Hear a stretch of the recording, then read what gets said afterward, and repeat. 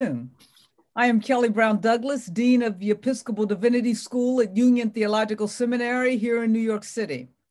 Thank you for joining us for another in our series of Just Conversations, where we engage issues of racial lives and socioeconomic inequities intrinsic to our nation and our collective responsibility to create a more just future.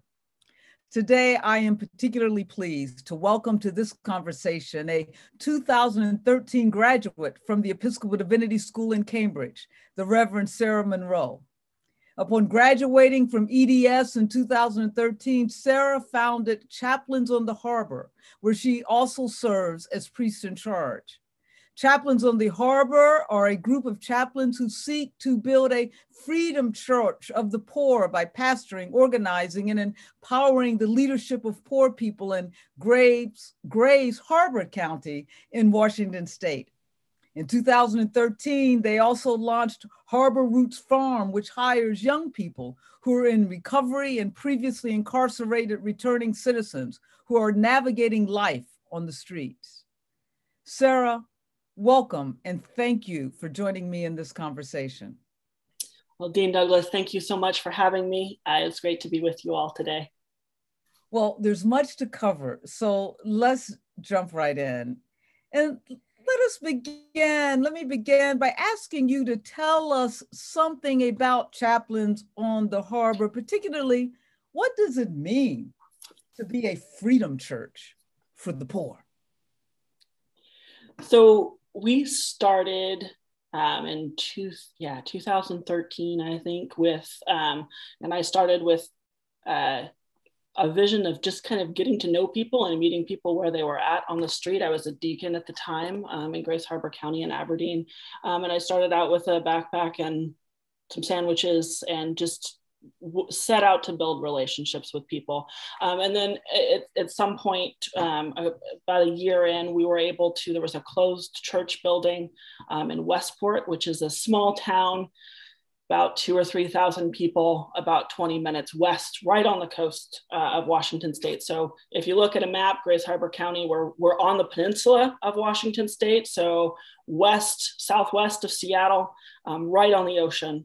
Um, and so there was a small church that had closed. It was an Episcopal church. I was ordained in the Episcopal church. And so um, we asked for use of the building and we just opened it up for uh, people to come in and build relationships with us and eat together. And so I think what we mean by Freedom Church of the Poor is very much um, a couple of different things. One, chaplaincy as meeting people where they're at, wherever their spiritual path is at, wherever they are, um, and particularly reaching out to people who are on the lowest rungs of society. I would say the margins, but it's really it's really in the United States. Um, I'm not I'm not sure I'm not sure they're the margins. I think they're the majority um, and certainly in the places in which we work, they're the majority.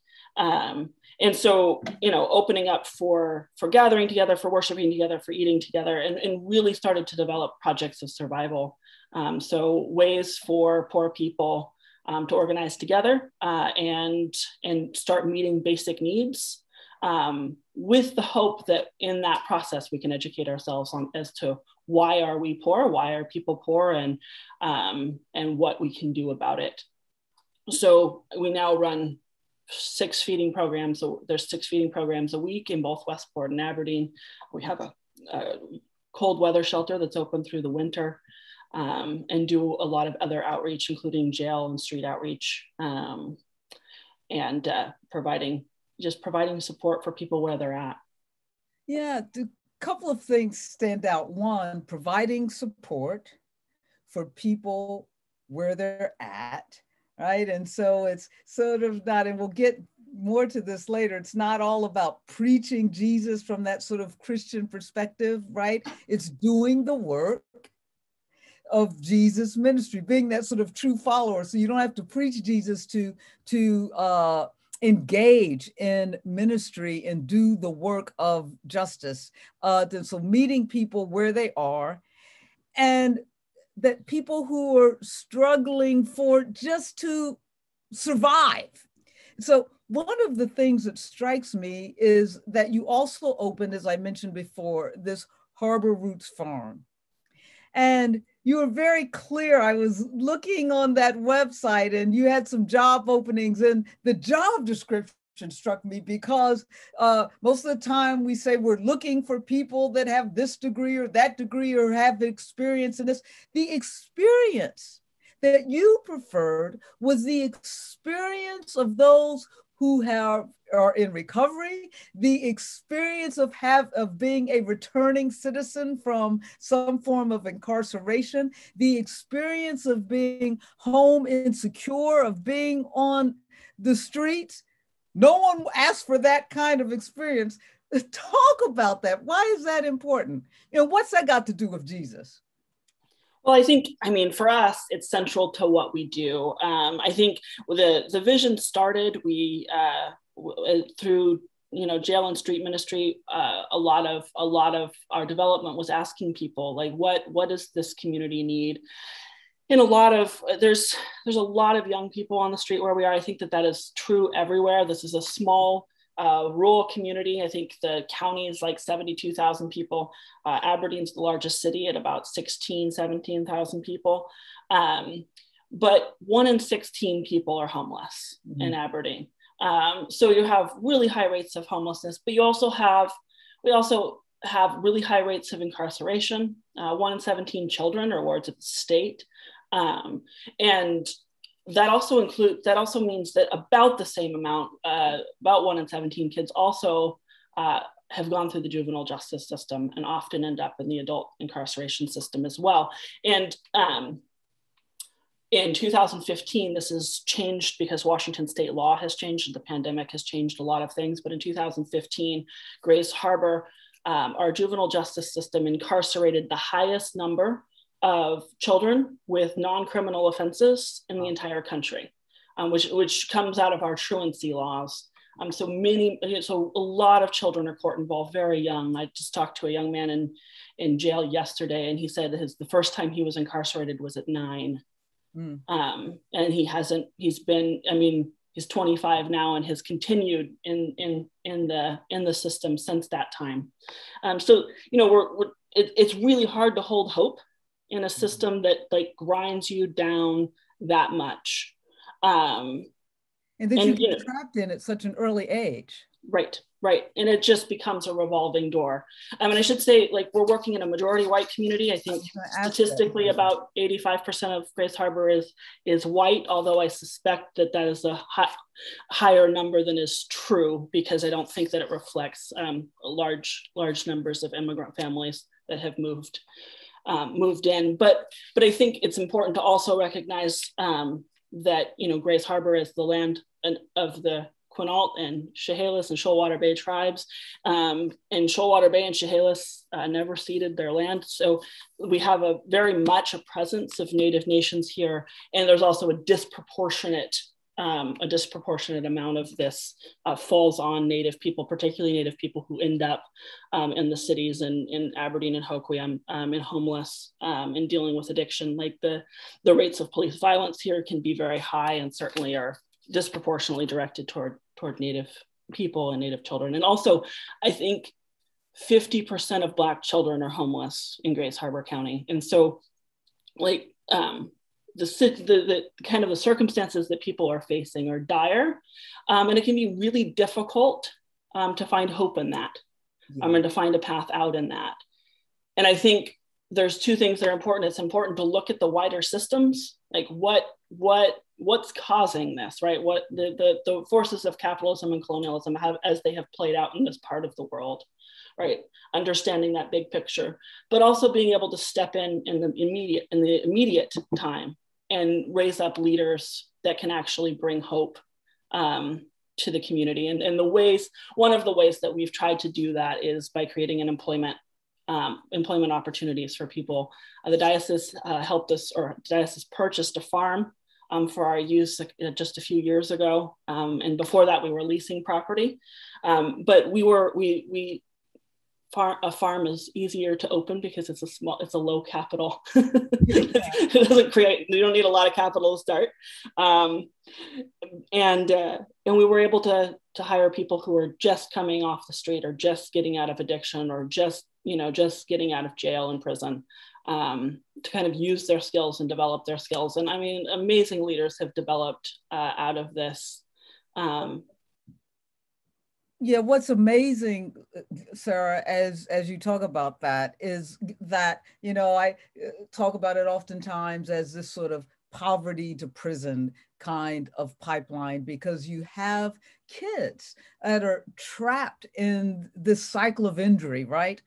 That is poverty. And our response to that as a society has been to build more prisons, to build more jails, right? And and so your response is to buy a farm, right? Mm-hmm. And so that it's not only a pathway for those who are returning citizens or recovering uh, from the injury that has been caused uh, to them by poverty, but it is can also be a proactive response. Instead of building prisons, let's build let's g- build a farm, get a farm or other ways so that we can break in to that cycle of injury. And so my question here before I sort of lead, move to the churches, what are we missing? in our society uh, how do can we really break in and be preventative right as opposed to uh, coming on the back end and then and also being restorative in terms of justice right as opposed to retributive and punishing those people who have already been punished by no fault of their own because they're trapped in a cycle of injury that is poverty and everything that goes with it. What are we missing I think we're missing a lot of things. Uh, so, so, so the, the, the easy answer, right? The immediate answer is when when when a system has developed like this we're in a post-industrial town right most of the land was was given to and sold to timber companies um, who developed it cut a lot of trees and there's not a lot of trees left to cut right this moment and so like the job the job situation here is very dire. Um, unemployment rates are really really high. In westport i think the i think 70% of the population is either unemployed or out of the workforce. We're talking about pretty extensive loss of industry. Mm-hmm. um, and so when you're when you're kind of in that system especially for young people i mean i talk to young people every day who, who just look at me and they're like i don't understand why my life is such a mess. I don't understand how i got here. I don't understand like why can't i make it like my dad did right? Um, and there's so so so when you're kind of in in the in the midst of that system i grew up here you know i and i grew up in this community and there's not a lot of opportunity and there's not a lot of hope for what your future might look like. And so the immediate needs right are are, are farms right?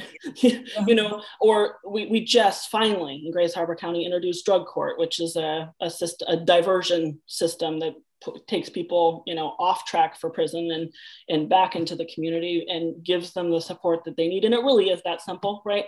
People are people. People need support. If they're if the options aren't there the cycle is going to continue. Um, and I think that's the immediate thing. But the long term thing, the theological th- question, I think, in this is what are our values as a society, right? So, so in Grays Harbor County and throughout the rest of the United States, if you're down on your luck and for whatever reason you're on the street, if you steal food from Walmart, you're going to go to jail. If you break into an abandoned building, and there's a lot of abandoned buildings in Grays Harbor County, you get charged with a Class B felony, right? And you go to prison. Mm-hmm. Right. So there's consequences for that. Because we live in a society where property is the supreme value right? Private Not, property yes, right. is is is what we value right? That's what our legal system values. That's what as a society we value right? Native people often say right that there was no homelessness before colonization right? So we have created a system on stolen land and imposed this system of private property on it and it values property if that same guy or gal or person um, ends up dead because they don't have enough food or they died in the cold, which this happens a lot. I bury a lot of people who die for those reasons, um, or they overdose or they commit suicide. there's no social repercussion, right? Because the, the there's no value placed on their life. That's right. That's right? right. Nobody nobody pays if they die. Mm-hmm. Um, because they're they're because the value isn't placed on life, it's placed on property. Um, yeah, that's well, sit with that for a moment, right? That we are in a society that values property more than it does human life, human beings, persons, property over person. So we get stand your ground laws, right? Exactly. Where you can kill people. For standing on what you claim to be your property. We're in a society in which we've got plenty of land for people to live on, but we own land uh, to move and steal land, right? And and relegate people to unlivable uh, situations. It's it's stunning to hear you say that a ch- young child will say, "Why is my life such a mess?" Uh, but you can see children at age nine, at age five, and you know where their life is going to end up, despite their dreams, right? And soon they recognize that these dreams are, are, aren't, aren't going to come to fruition. So now I ask the question the church is about, presumably, hope. The church is about, presumably, uh, abundant life and providing the conditions for which people to live. Resurrection right? Uh, can these dry bones live kind of kind of world? Yet i'm struck that during the pandemic our churches were more concerned with how to have church and thus having debates around worship and liturgy and sacraments, as opposed to being church when indeed the pandemic revealed the dire circumstances of people who already find themselves in dire circumstances of living. I'm struck that you were being church and chaplains on Harbor were being church. What what were your greatest disappointments in terms of the institutional church and what what should and must the church do better so a couple of months into the pandemic i was asked to speak with a group of bishops mm-hmm. and um, I think there were a lot of topics on the table, but they had invited people who were doing church differently to come talk to them.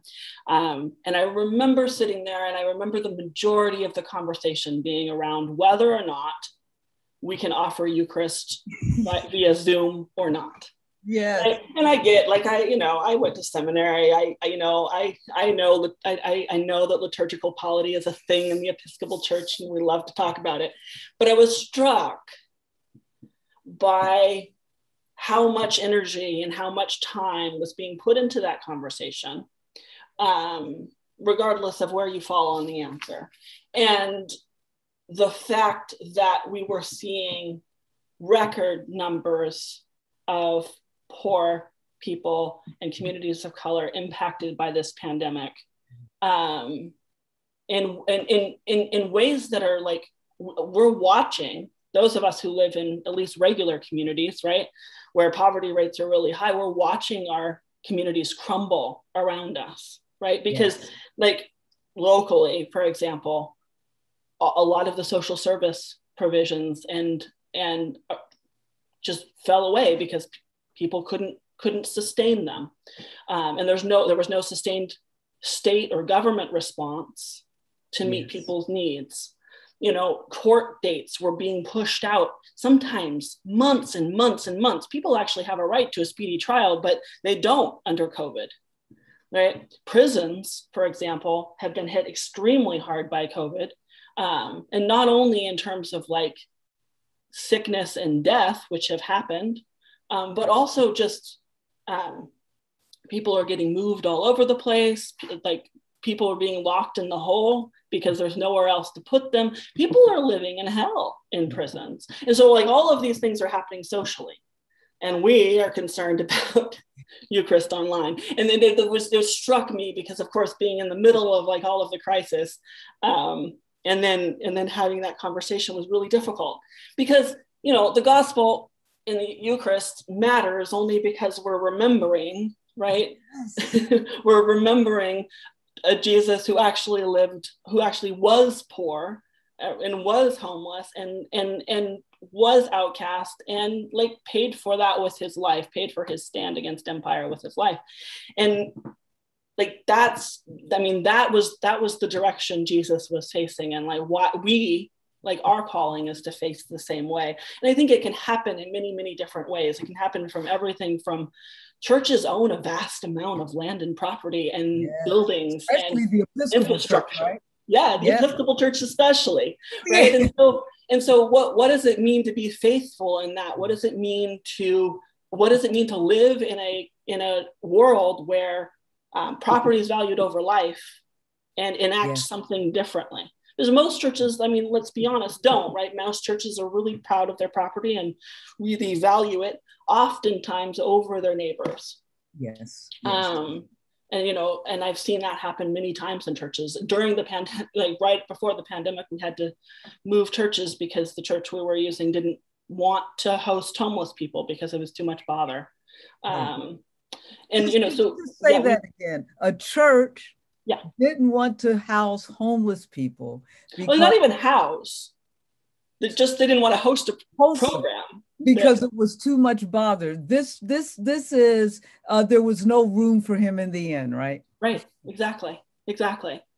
Um, and i think so i think those are the questions facing the the church in the united states. And i think i think it's a I think it is a question of whether or not we will be relevant going forward and whether or not the church will survive the pandemic intact is are we will will will we will we will we value life over property and will we um, you know will we be able to open up what resources we have to people i mean people who are struggling. 43.5% of americans were poor and low income before the pandemic hit and that's only increased since uh, the pandemic. And you know, and, and I, I, yeah, and I'm so struck of how you talk about well i don't know that we want to uh, continuous church as we have been. I like to say to call ourselves church is aspirational and it seems to me that the pandemic calls us to take seriously this jesus you're talking about that uh, that the center of our faith is an incarnate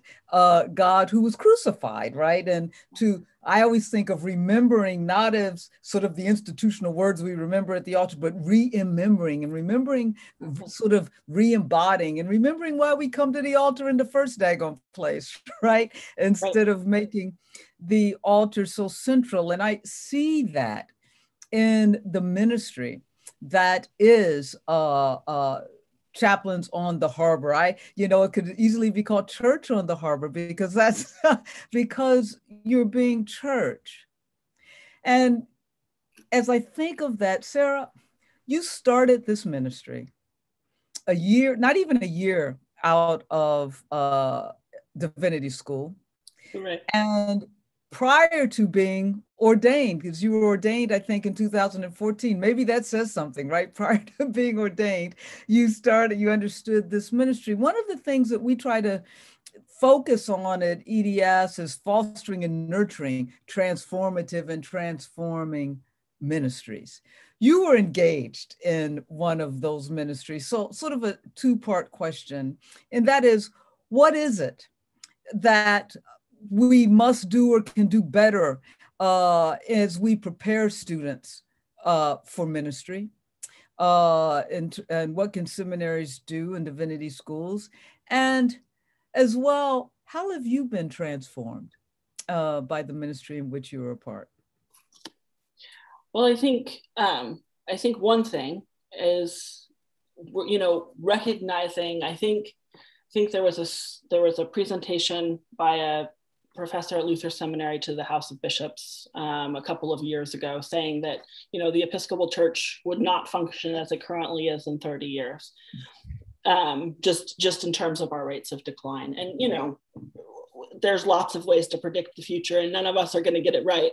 Um, but like recognizing that maybe the most important thing isn't doing what we've always done or doing church the way we're doing church but maybe the maybe the question is is like how can we be faithful how do we ask the questions of how can our resources best serve the poorest uh, among us how can we undermine the systems that are death dealing in this country? What does it mean that our churches sit on stolen land?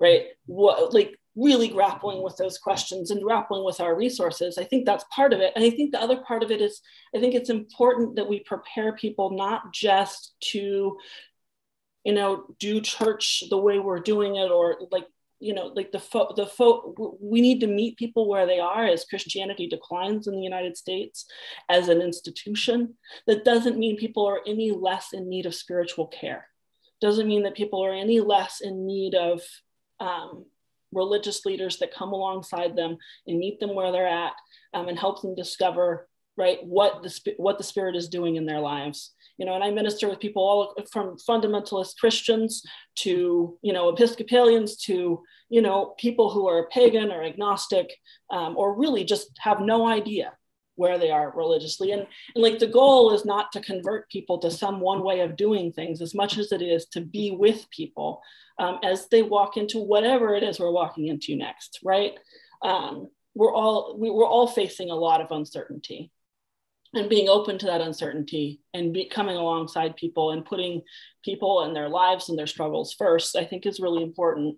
And then the other thing i think that's really important for theological education is to make it practical not just in how to minister to people but really like what are we up against in the united states with capitalism and colonialism you know, what are what what are what systems are we up against that really are antithetical to the gospel that's right. Um, and how do we undermine them and how do we work for change? And how do we organize poor people themselves um, to take back their own agency and work for change? And how do we shepherd that movement?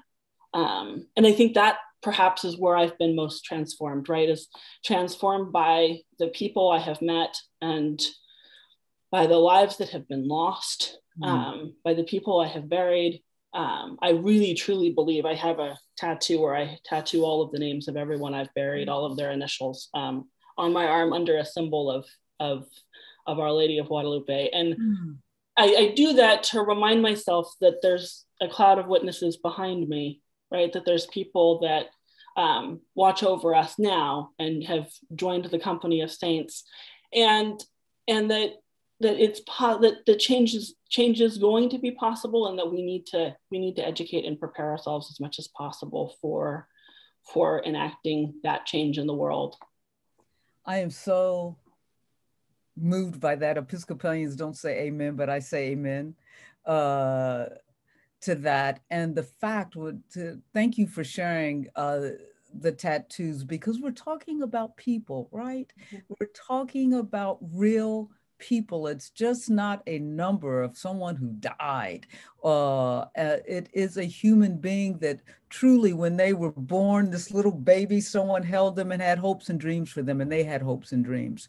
Uh, uh and so it is a lost dream uh, uh, and I'm also struck as you talk about that, and then we'll get to the last question here. That you know you have built partnerships with, uh, for instance, the Poor People's Campaign and the Kairos Center, both uh, that are housed here at uh, Union Theological Seminary. And so the importance of even helping our students to connect to programs like that while they're in seminary and taking advantage of those programs and I and how you all are being church, Poor People's Campaign, Kairos Center, uh, Chaplains on the Harbor, and the importance of those partnerships.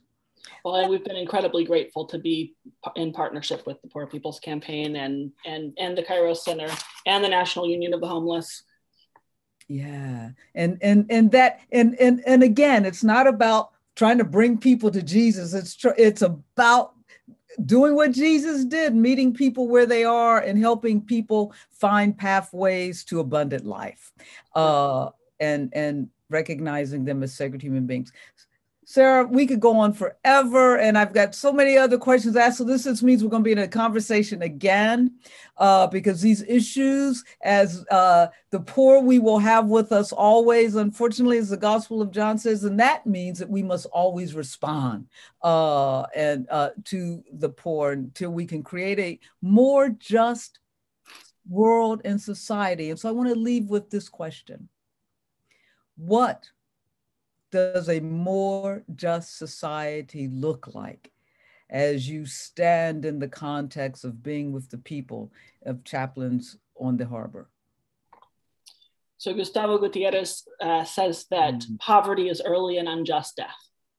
Yes. Right, that, that that's how he defines poverty, and that is certainly how I have experienced it um, in my work. Uh, is early and unjust death, and so I think, I think the call of the gospel, and I think the call for a more just world is the exact opposite of that. Right, right, is that ending poverty means valuing life. It means mm-hmm. creating a world and where life is actually valued. And what that means is a very material reality, right? It's not it's not pie in the sky. It's not telling people they're valuable, although that's very important. It's it's enacting a reality where people have a right to their basic needs being met, right? Where where people have a right to housing and to life and to happiness and to education and development right? That people have a lot people have a right to life. That they literally have a right to stay alive. Um, and and you would be surprised how often the pushback i get is in in the community um, is well, actually, they have to work for it. And if they don't work for it, they deserve to die. And that is the fundamental problem in the American system. And it bleeds very heavily into the church and how we talk about things as well and how we have uh, formulated our theology. And I think the way, the, I think the way toward a more just future is to value life really, truly, materially. Wow. Yes, poverty is an unjust death and if only we could create a society that truly, truly values those who live and values life. Thank you, Sarah, Reverend Sarah Monroe, for this conversation. And most significantly, thank you for your ministry and your witness. This conversation has transformed those of us who have listened, and your ministry is transforming life for those whose lives have had no value in this society. Thank you so much. And thank, thank you so much.